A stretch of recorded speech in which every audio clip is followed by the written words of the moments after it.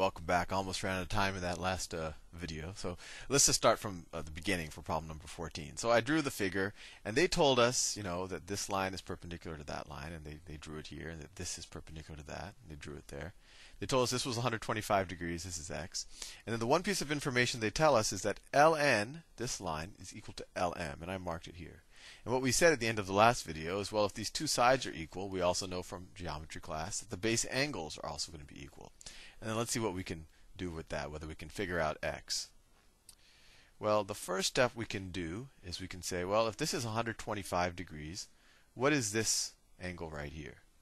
Well, they're going to have to add up to 180 because they're supplementary. So this is going to be, what's 180 minus 125? Or what's 80 minus 25? It's 55 degrees. This is 55 degrees, right? And then if that is 50, let me make sure I'm doing my math right, right? That's 55. So if that's 55, then this is also going to be 55. And then if th if these are both 55, what is this angle up here? Well, they're all in a triangle, so they have to add up to 180. So 55 plus 55 is 110. So this one has to be 70 degrees, right? Or 180 minus 110, right? They have to add up to 180 degrees. So this is 70 degrees right here. And now can we figure out what this angle is here? This is what I call the angle game. You just have to keep figuring out angles. Well, if this is 70 degrees, what this angle plus this angle, they're going to be complementary, right? They're going to come out to 90 because this is 90. So all we have left is, you know, 90 degrees here. So if these two have to add up to 90 degrees, and this is 20 degrees. 20 degrees, that says 20. I know I wrote it really small, you probably can't read it. Right? Because this we know that this this whole thing is a right angle because this is a right angle. So if this is 90, we know that this whole thing is 90. So this is 20. And now finally, I think we're ready for x because x plus 90 plus 20 has to be equal 180 because it's in the same triangle. So x plus 90 plus 20 is equal to 180. x plus 110 is equal to 180. x is equal to 70 degrees. And we are done. Next problem. Problem number 15. A measuring cup contains one fifth a cup of orange juice. One fifth a cup of orange juice. Orange juice. It is then filled to the one cup mark that is a mixture containing equal amounts of orange, grapefruit, and pineapple juices. What fraction of the final mixture is orange juice? Oh, this is interesting. So, you have one fifth already orange juice, and then the next four fifths, the next four fifths is going to be equal parts, right? Because we're going to filter the one cup part. It's going to be equal parts orange, grapefruit, grape. I'll just write grape, and pineapple. Pineapple. I had to draw three, right? So the next four fifths is going to be split amongst these three. So and it's equally, right? So how much more orange juice are we putting in? Well, we took four fifths, and one third of this four fifths is going to be orange juice. So the amount of orange juice we're putting in now is one third times the four fifths, right? So we're putting in four fifteenths orange juice. And we already had one fifth orange juice, so one fifth plus four fifteenths, that equals three fifteenths plus 4 fifteenths, which equals 7 fifteenths. That is how much, that is the final um, uh, mixture of orange juice. And does that make sense intuitively?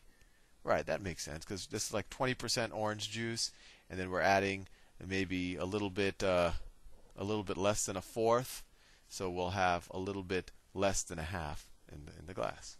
All right, next problem. This is another one where my cousin's answer seems a little uh, suspicious.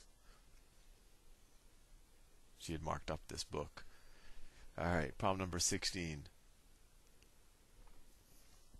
If a plus 2b, a plus 2b is equal to 125% of 4b. So that equals 125%. Another, if you want to write 125% as a decimal, which I like to do, it's 1.25 125% of 4b. What is the value of a over b? So we want to figure out a over b. Let's just solve this thing. So a plus 2b is equal to what's 1.25 times 4? If you have $1.25 and you have that four times, that's 5, right? 4 times 1 and then 4 times a quarter, that's another dollar. So that's 5b. And then subtract 2b from both sides. You get a is equal to 3b. Divide both sides by b, and you get a over b is equal to 3. And you are done the problem. Problem number 17.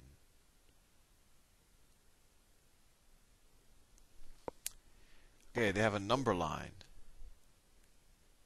Let's see this number line. Let me see how much I have to draw of this number line to minimize my drawing. They say 0 is here, 1 is here, and then they, they drew like a. How many hash marks are there? Let's see. 1, 2, 3, 4, 5, 6, 7, 8 hash marks.